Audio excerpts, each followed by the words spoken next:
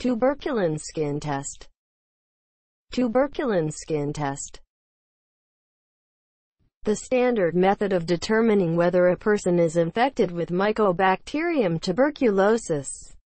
Performed by injecting 0.1 milliliters of tuberculin purified protein derivative into the inner surface of the forearm. The injection should be made with a tuberculin syringe with a needle bevel facing upward. It is an intradermal injection.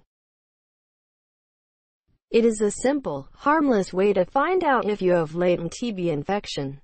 1. Inject tuberculin testing fluid under the skin on your arm. 2. Check your arm two or three days after.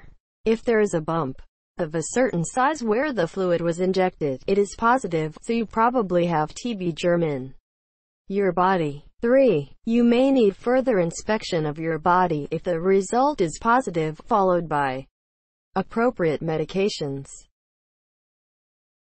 Even if you have had BCG vaccine, you still can get latent TB infection and active TB disease.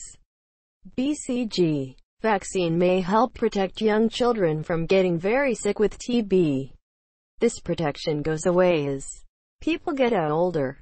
BCG vaccine can cause TB skin test positive, but probably it is from TB germ in your body and not from your BCG vaccine.